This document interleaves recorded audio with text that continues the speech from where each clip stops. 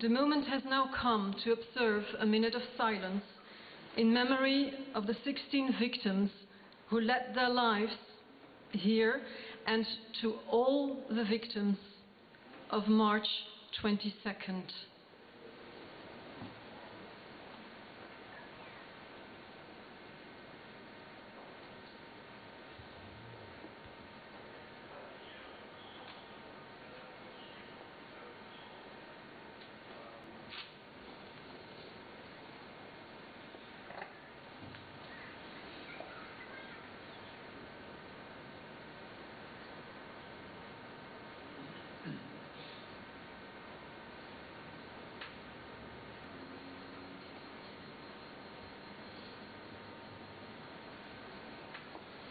Merci.